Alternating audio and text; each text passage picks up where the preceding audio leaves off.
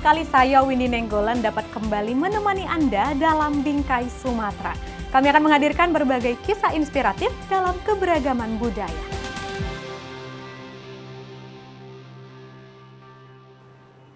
Pemirsa, dalam rangka memperingati Hari Lingkungan Hidup Sedunia, kami menyajikan info menarik yang sayang Anda lewatkan.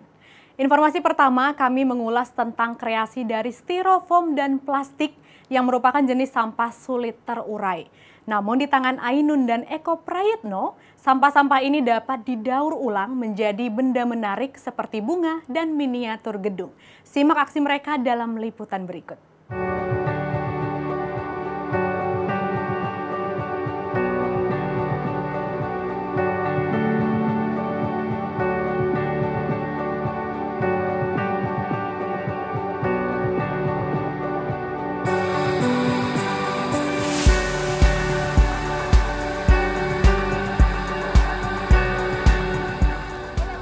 Rumah kreasi yang berada di Jalan Riau Timur nomor 71 Medan Belawan ini menjadi wadah bagi masyarakat untuk berkreasi dengan sampah plastik. Rumah ini didirikan pada tahun 2019 oleh Ainun, seorang ibu rumah tangga. Ia mengajak para ibu rumah tangga di sekitar rumahnya membuat kerajinan tangan berbahan limbah daur ulang yang sering ditemukan sehari-hari. Pendirian rumah kreasi ini sendiri berangkat dari keresahan hati Ainun akan timbunan sampah yang semakin banyak.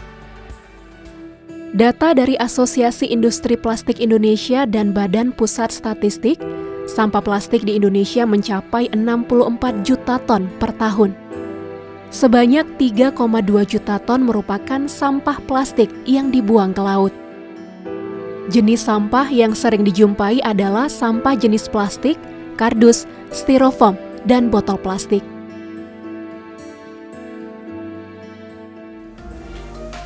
Kreasi kerajinan tangan yang diciptakan oleh Ainun beserta ibu-ibu lainnya berupa benda-benda unik dan dapat dipakai dalam kebutuhan sehari-hari.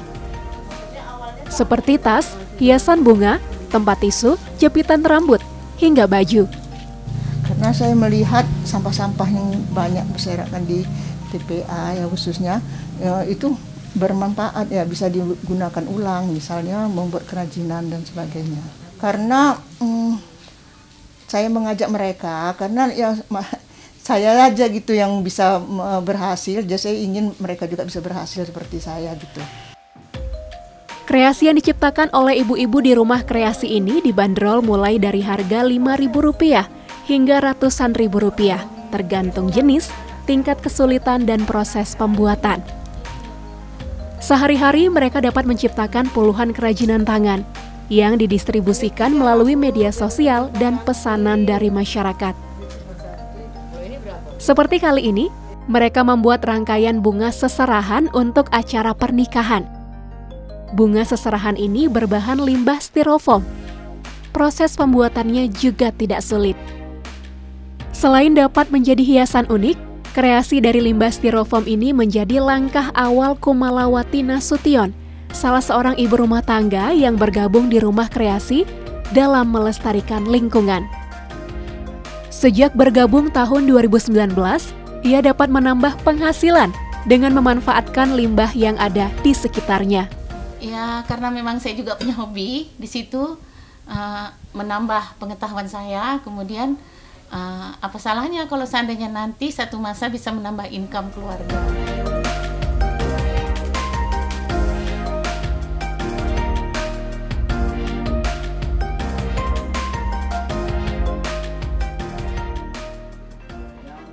Selain Ibu Ainun, Eko Prayatno di Medan juga memanfaatkan styrofoam menjadi barang yang berguna dan bernilai jual tinggi.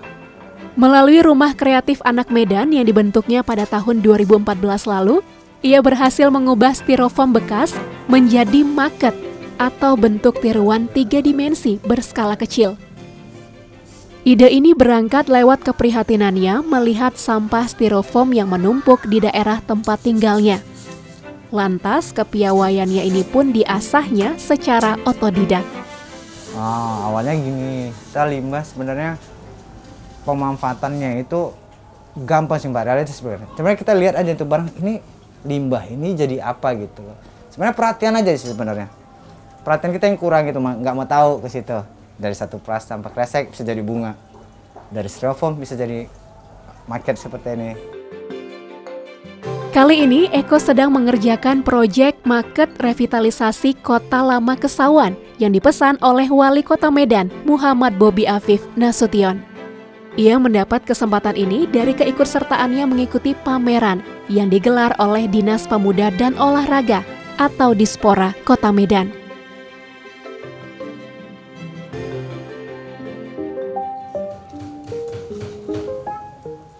Hal inspiratif lain yang didapat dari sosok Eko, ia juga melatih kreativitas anak-anak di sekitar rumahnya. Mereka diajarkan membuat miniatur becak Medan berbahan stik es krim. Selain mengajarkan konsep daur ulang, Eko ingin agar anak-anak ini tidak terkontaminasi dengan penyalahgunaan narkoba yang sering terjadi di wilayahnya. Hasil dari kreativitas anak-anak ini lalu dijual oleh Eko Hasil penjualan kreasi ini kemudian dikembalikan lagi kepada anak-anak untuk ditabung. Memanfaatkan limbah menjadi kerajinan yang indah serta memiliki nilai jual adalah sebuah gerakan yang sudah sepatutnya mulai dikembangkan di masyarakat. Sehingga dengan karya seni kita dapat membantu Indonesia menjadi tempat tinggal yang lebih bersih dan nyaman.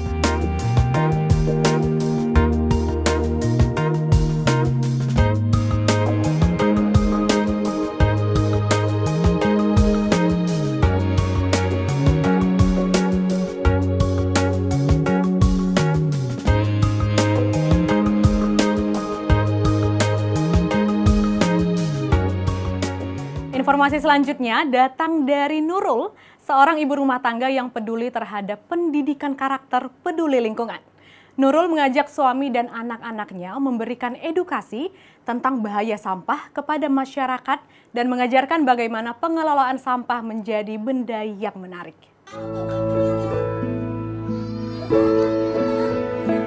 Berangkat dari rasa prihatin akan kondisi lingkungan saat ini, menggerakkan hati Nurul Aulia seorang ibu rumah tangga asal kota Medan. Ia bersama suami dan kedua anaknya memberikan edukasi lingkungan tentang masalah sampah di beberapa sekolah kota Medan.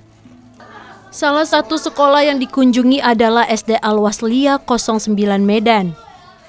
Dalam memberikan edukasi, mereka berbagi peran dan tugas.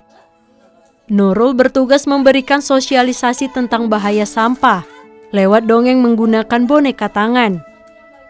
Dongeng ini menceritakan kisah seekor paus dan burung pelikat yang menjadi korban dari sampah-sampah plastik yang ada di lautan. Tujuannya sangat sederhana, mengajak anak-anak peduli lingkungan sejak dini dengan cara mengasihkan menurut saya. Dimulai dengan sains, main games, dan senam, kemudian langsung buat aplikasi dalam bentuk peduli lingkungannya itu dengan membuat ekobrik. Selanjutnya, siswa juga mendengarkan ceramah yang dibawakan oleh suami Nurul bernama Rahmat tentang bagaimana manusia harus menjaga bumi dan isinya. Tidak ketinggalan, anak-anak Nurul, Syahid dan Kusna juga membagi keseruan mereka kepada teman-temannya. Syahid melakukan eksperimen sains sederhana untuk mengetahui dampak negatif dari asap pembakaran sampah. Ia menggunakan botol berisi air panas yang ditutup dengan permen karet. Dua menit kemudian, muncullah lubang-lubang kecil di permukaan permen karet. Hal ini menandakan bahwa panas dari asap mengakibatkan lapisan ozon di langit menipis. Sementara Kusna memberikan cara mendaur ulang sampah plastik menjadi ekobrik. Untuk menghasilkan satu ekobrik, dibutuhkan sebanyak 200 gram sampah plastik. Kehadiran keluarga peduli lingkungan ini tentu membuat para siswa antusias dan senang. Seperti halnya Nadine, salah seorang siswa di SD ini. Ia belajar bahwa sampah dapat dijadikan hal yang berguna jika dikelola dengan baik. Tadi saya sedang mempraktekkan tentangnya sampah Jadi tentang. Jadi kalau sampah plastik itu jangan dibuang dulu. Bisa menjadikan di ekologik. Misalnya seperti meja, bangku, kursi, dan lain-lainnya. Ya harapannya itu tadi kita nggak muluk-muluk aja. Anak ini paham bahwa sampah yang dihasilkannya itu berbahaya. Jadi simpanlah sampahnya untuk diri dia sendiri, dijadikan sesuatu yang berharga. Jadi tidak makan langsung buang sampah. Mereka bisa menjaga lingkungannya. Karena kan kebersihan itu sebagian dari iman. Pendidikan cinta lingkungan harus ditanamkan sejak dini. Edukasi yang dibalut dengan ringan dan menyenangkan menjadi salah satu cara Nurul dan keluarganya untuk berbagi dan mengajar anak-anak peduli dan kreatif dalam mengolah sampah plastik.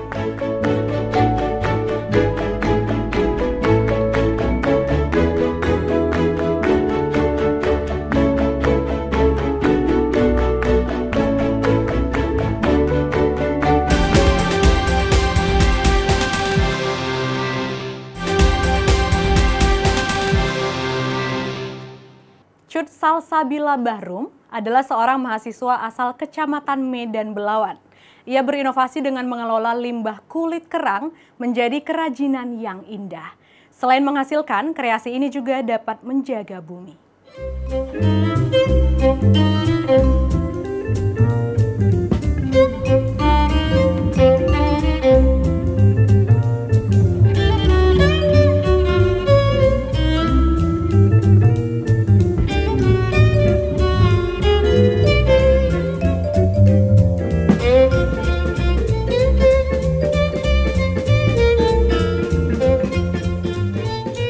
Kerang banyak dijumpai di pesisir pantai yang ada di Medan Belawan. Cangkang atau kulit kerang ini pun lantas menjadi limbah apabila tidak ditangani dengan baik.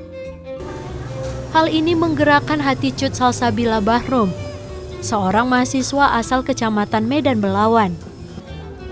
Ia berinovasi dengan mengelola limbah kulit kerang menjadi kerajinan yang indah dan memiliki nilai jual. Awal mula saya membuat kerajinan pin kerang e, dikarenakan karena saya melihat e, sampah limbah kerang yang ada di daerah rumah saya. Ya udah, e, terus saya mulai mencari ide-ide apa sih yang bisa saya hasilkan dari produk-produk sampah limbah ini. Nah, kemudian akhirnya saya mencoba berinovasi untuk membuat kerajinan pin kerang. Cut memulai kreasi ini sejak tahun 2019 hingga sekarang.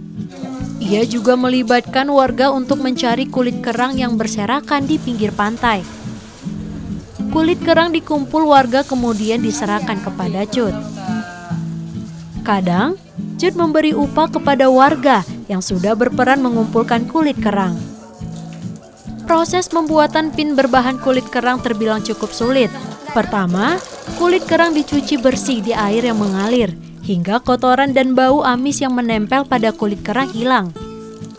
Setelah itu, kulit kerang yang telah bersih ini dijemur di bawah sinar matahari hingga kering di atas kertas koran.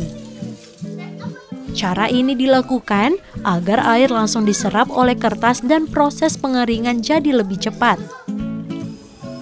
Cut tidak sendiri mengerjakan kreasi berbahan kulit kerang ini, ia juga dibantu oleh teman-temannya. Salah satunya adalah Rika Ardina. Bagi Rika, mengerjakan kerajinan berbahan kulit kerang ini memiliki kesulitan dan kreativitas tersendiri. Apalagi bentuk kulit kerang yang didapat juga beragam. Ya, kesulitannya ada pada eh, pas memikirkan gimana ya motif yang akan dibuat karena uh, kerang-kerangnya banyak gitu jadi sehingga sulit untuk memikirkannya gimana cara membuat motifnya gitu ya kalau sehari itu bisa membuat 10 sampai 15 pin kerang tapi kalau 2 sampai 3 orang bisa membuat 45, uh, dari 40 sampai 50 pin kerang. Tidak hanya kerajinan pink kulit kerang saja, ada beberapa kreasi lain yang dibuat. Seperti kotak tisu, tas anyaman pandan dengan kulit kerang, hingga gantungan kunci. Harga untuk kreasi berbahan kulit kerang ini dimulai dari 10.000 hingga 100.000 rupiah. Cut kerap mengikuti kegiatan pameran kreatif untuk memperkenalkan kreasinya. Ia juga melakukan pelatihan kepada anak-anak warga di sekitar pesisir Pantai Belawan. Saya berharap teman-teman yang saya yang di daerah saya juga dan beberapa stakeholder yang juga ada di kecamatan ini juga mau membantu saya membenahi eh, sampah-sampah kulit kerang yang ada di daerah saya ini. Berkreasi sembari menjaga alam, inilah yang dilakukan oleh Cut Salsabila Bahrum. Kreasi ini juga memberikan nilai dalam meningkatkan ekonomi masyarakat, khususnya yang ada di sekitar pantai.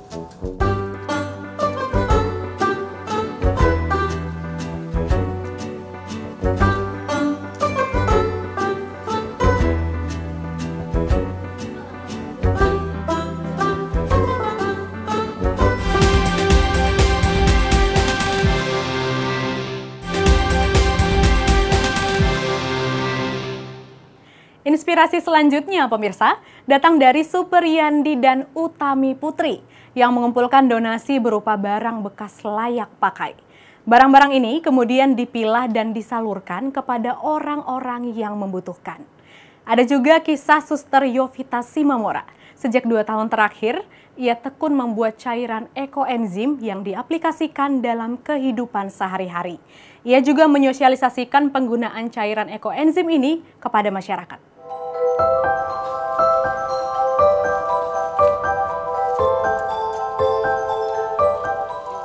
Sedekah dapat dilakukan sembari menjaga lingkungan. Hal inilah yang digencarkan oleh Super Yandi atau yang akrab disapa Yandi. Pria berusia 42 tahun asal desa Semencirim, Deli Serdang ini memiliki jiwa sosial yang tinggi dan kerap melakukan kegiatan berbagi. Bersama sang istri Utami Putri, ia mengajak masyarakat untuk berdonasi barang bekas layak pakai. Program ini diberi nama barang bekas berfaedah atau babeda.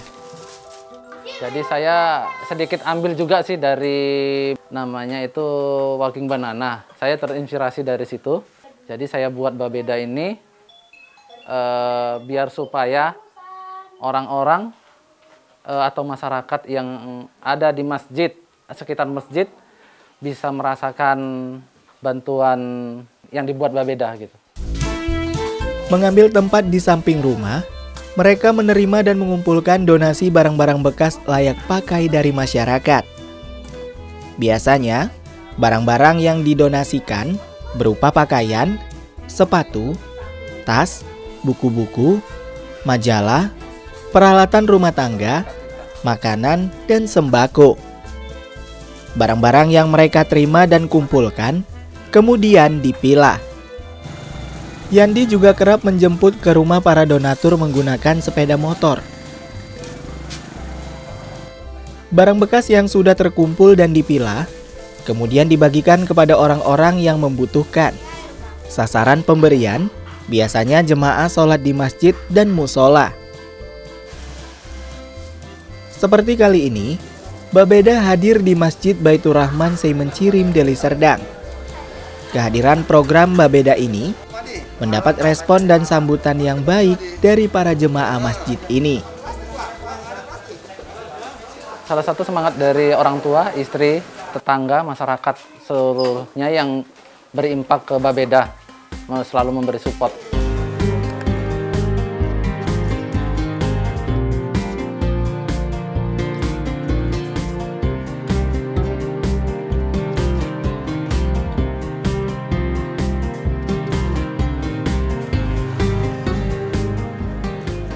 Menjaga bumi dan lingkungan juga dilakukan oleh Suster Maria Yovita Simamora SFD. Perempuan yang akrab disapa Suster Yovita ini adalah seorang suster di Yayasan Setia Medan yang terletak di Jalan Bunga Trompet, Kota Medan. Ia juga salah seorang pengikut Santo Fransiskus Assisi yang dikenal sebagai pelindung ekologi. Bersama suster lainnya, Berbagai aksi peduli lingkungan sudah dijalankan, seperti aksi tanam pohon, serta mengolah sampah menjadi sejuta manfaat seperti membuat cairan ekoenzim. Ekoenzim uh, tidak jauh dari kehidupan manusia. Dia ada di antara kita. Setiap hari kita konsumsi buah, konsumsi sayur. Kulitnya, sampahnya dibuang ke mana? Dan itu sangat banyak sekali. Kita tiga kali makan sehari, makan buah dan makan sayur. Nah, itu kita olah menjadi sebuah uh, apa ya sejuta manfaat lah. Jadi ekoenzim itu uh, sebuah cairan yang sudah dipermentasi selama 90 hari tapi dia sejuta manfaat untuk kita manusia dan untuk uh, tanam-tanaman yang lain. Bahan-bahan pembuatan ekoenzim ini mudah didapat. Setiap hari, Suster Yovita dan suster lain di yayasan ini memiliki kebiasaan membuat jus buah dan meminumnya bersama. Kebiasaan baik ini selain menyehatkan, tentu menghasilkan limbah dapur seperti kulit buah yang dikumpulkan lalu diolah menjadi ekoenzim. Biasanya, Suster Yovita dan suster lainnya menggunakan cairan ekoenzim untuk berbagai keperluan rumah tangga, seperti sebagai cairan penyubur bunga, penjernih udara, juga sebagai cairan pengepel lantai dan lainnya. Tapi sesudah saya dengar Suster Yopita membuat ekoenzim dengan Suster Reynelda, lalu bisa dipakai begitu, bisa sembuh. Lalu saya coba, tiap malam saya buat rendam kaki 20 menit. Sesudah itu kira-kira satu bulan atau apa, saya udah bisa mencangkol. Saya usahakan memang supaya bisa bergerak begitu.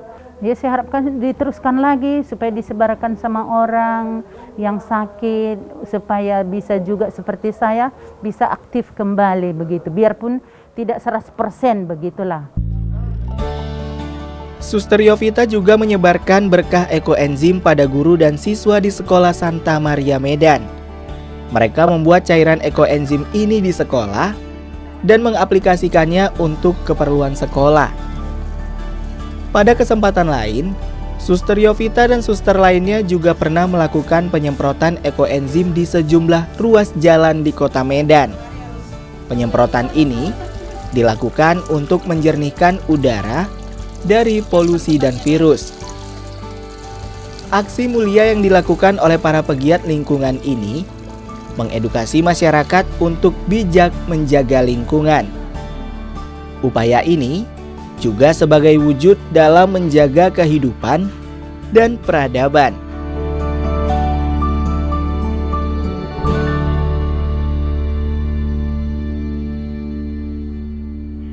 Program Bingkai Sumatera, selalu jaga diri Anda di mana pun Anda berada. Tetap semangat menyebarkan kebaikan, saya Windy Nenggolan pamit, sampai jumpa.